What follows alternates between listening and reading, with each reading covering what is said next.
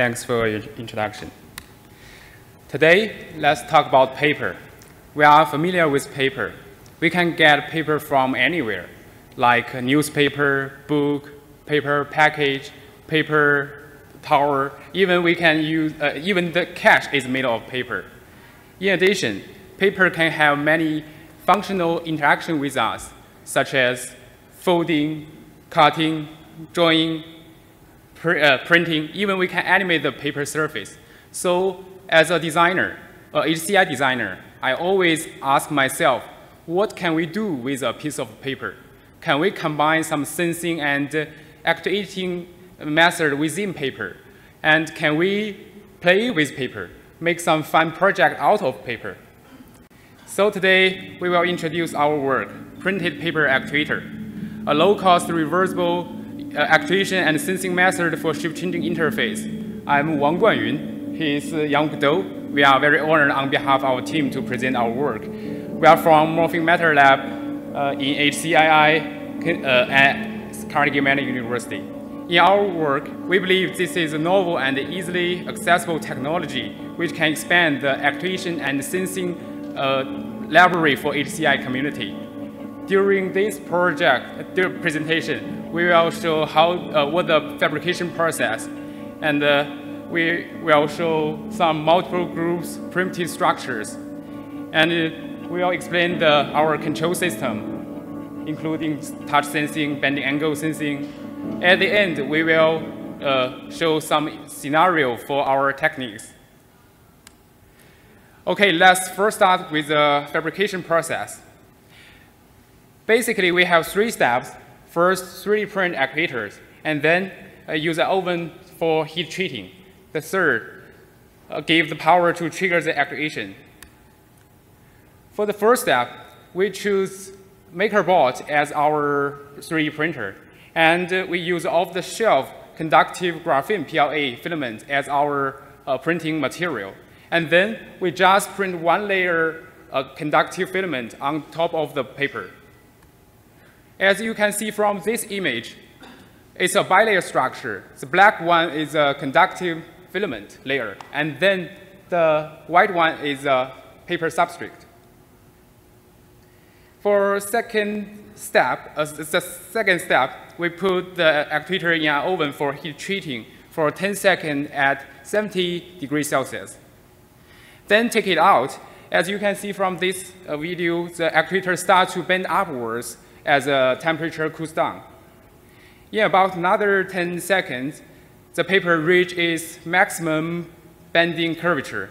Till this moment, the heat treating process is done. This is, uh, will be the initial shape for future actuation. Step three, use the electricity to trigger the actuator. When property power is provided, the, uh, the paper goes back to its flat shape and once we turn off the power, it returns to its initial shape, which is a curved shape. How does this work? What happened within the material? So let's go back each step to see what the mechanism happening within the material. Before printing, the polymer chain within conductive filament are in chaotic state. Actually, a polymer chain prefer to be in this state. Uh, once the filament is printed on the cold platform, it, the polymer chain are cooled down rapidly and forced to be a straight state. And actually, the polymer chain don't like to be in this state. Step two, the sample placed in the oven is flat. Due to the heat in the oven, the straight polymer chain gets a, a chance to recover its chaotic state. As the po polymer recovers, the actuator sample starts to bend. After treating, our sample bend up, and you are ready to use, use it. If we provide electricity to the sample, the polymer will be get soft, and the paper substrate get the chance to prove the sample to flat. Once we turn off the electricity, the polymer will get stiff, and put the paper back again. And this process is uh, repeatable. Okay, so far we talked about fabrication steps and the sample state for each step, and also corresponding polymer chain structures. Let's now move on our primitive structure design. We divided into three types, folding, construction method, properties. For folding type, we have two categories.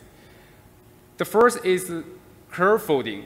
These all transformations are based on line patterns, and uh, this pattern can enable smooth curved structures. The second is sharp folding. We use the actuator to trigger the pre-creased paper structures. Based on the actuator are constructed, we have two methods. The first is pattern method. If you print the material on either front or back, you can implement different type of uh, uh, transformations. The second method is Kirigami's method. We cut the paper to create pop-up structures. And one more interesting thing is with this method, we won't lose any material. And now we talk about material property. There are two properties. For elastic, elasticity, we insert actuator inside a closed structures. And the actuator will bounce the structure back and forth. For permeability, we make the structure to be able to open and close like breathing. Okay, Yang will explain the next part. Uh, I'm going to talk about how to analyze uh, our paper actuator's performance. We're interested in the, uh, the limitation of our paper actuator's uh, performance. So we set the goal to find the optimal parameter values to achieve maximum bending angle. For that one, uh, we chose two parameters, geometry and power consumption. Let's, uh, let's take a look at the geometry first. There are a lot of types of geometry patterns, but to simplify our experiment, we chose this simple zigzag pattern. For this uh, geometry uh, parameter, we chose a width to length ratio. We designed four samples with different uh, width to length ratio. And then we kept the surface area the same to compare our paper actuator's performance only affected by the width, uh, width to length ratio. We measured the data, and then we concluded that the less width to length ratio the paper actually has, the higher a maximum bending angle it can achieve. Besides the geometry, also the other important factor to influence the paper um, actuator's performance is power consumption. So we are interested in looking for the most efficient power. If you could achieve a high performance with the low power consumption, and then that would be really great, right? Um, so we're interested in looking for the lowest power to uh, achieve the maximum bending angle without damaging the sample. For the experiment, uh, we used two different cameras, thermal camera and the normal camera.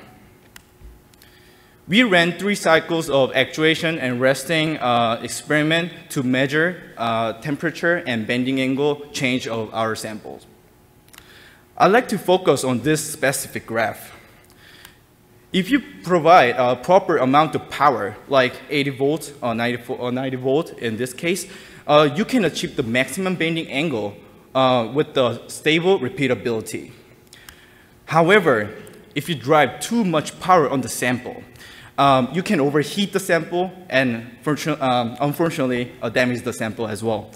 Uh, literally, I saw it's burning right in front of me when I uh, apply like too much current. Um, but fortunately, I got a safety training, so no worries, everyone. Um, anyway, uh, it lost the power. Uh, it lost the, uh, the uh, stable repeatability when I applied the too much power on the sample.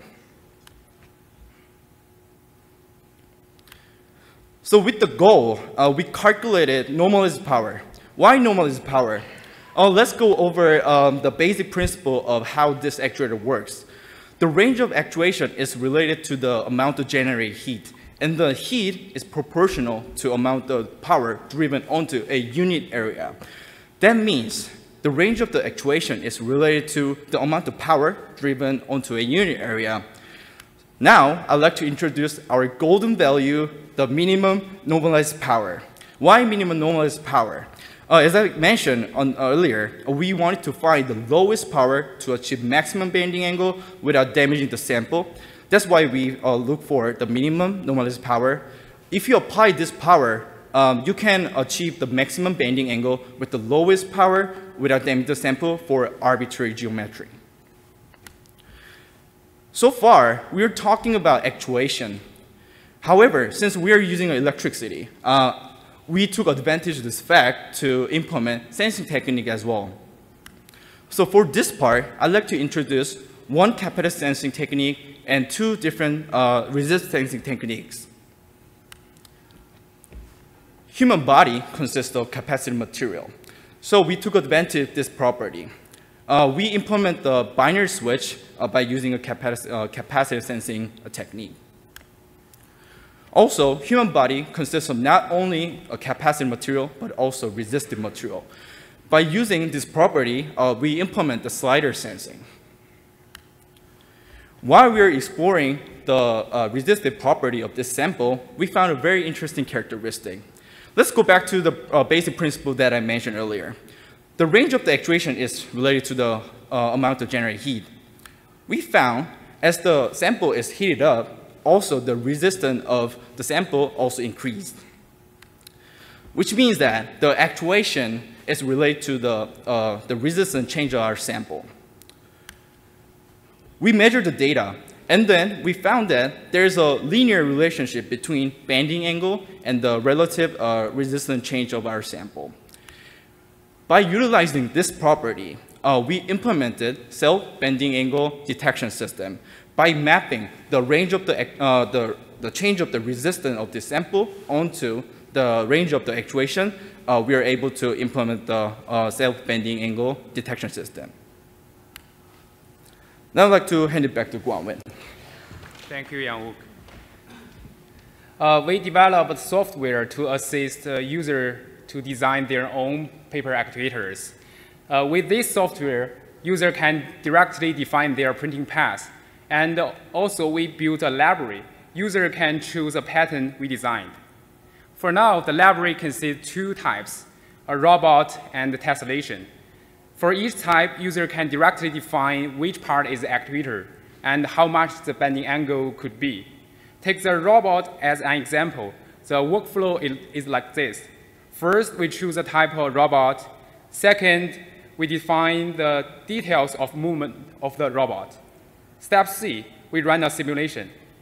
Step D, we generate a printing path. Now let's talk about applications. The first one, we designed a three legs gripper, which, which can easily grab a cube from the ground. And this one is a jet robot. Multiple layers, multiple actuators are formed two legs, which can tune the whole balance. This one is a ro worm robot. We can detect a, a few bending actuators together. We also designed artificial plants uh, which can sense and actuate. When we touch it, it will close up, and after a while, it uh, reopen, like the real Mimosa. We also designed a pop-up book uh, similar with our prim primitive structures. And this is a lampshade when we turn it on, it, it can change its volume. We can also use a sliding bar to control the brightness. Besides 3D printing, we also think we, maybe we can just print the, we join the actuator on the surface, paper surface. So as you can see, each application combines different sensing and actuation methods. Like the gripper, it combines the uh, angle sensing and the curve folding uh, actuator. Uh, our approach is inspired by many previous works. There are many ways to actuate paper in HCI. Uh, shape memory alloy, thermoplastic, magnetic, and uh, pneumatic. And in particular, we want to point out the Foldio project as a previous work that actually used thermoplastic look in and beyond HCI, thermoplastic has been explored for actuators. Uh, these are all recent related work. And if you try to characterize them uh, based on different fabrication method and uh, st stimuli type, uh, we can identify our contribution in this area, which is use the 3D printing technology to create local heating. So three years ago, we developed bioLogic project using bacterial for a new kind of shape-changing interface. Uh, however, the, this method only applies to people who have wet lab uh, background. And last year, we published another paper using a very low-cost material to fabricate 3D objects with uh, laser cut, laser cutter, but the material is not active. To move on, through our paper actuator project, we are trying to create an easily accessible and low-cost method to, fabricating, to fabricate morphing materials. Uh, we believe this is uh, one step further to democratize both material and fabrication methods. In order to find out how this technology will empower and inspire designers, uh, we are going right now, uh, we are going to run a workshop in the next month with uh, 100 designers, and we're really looking forward to seeing what will happen. Maybe we can represent in the next conference. Uh, with, that, with this trip, we will end our talk, and now we would like to invite another co-author, Tingyu Cheng, uh, together on the stage, and we would like to answer your question. Thank you so much. 嗯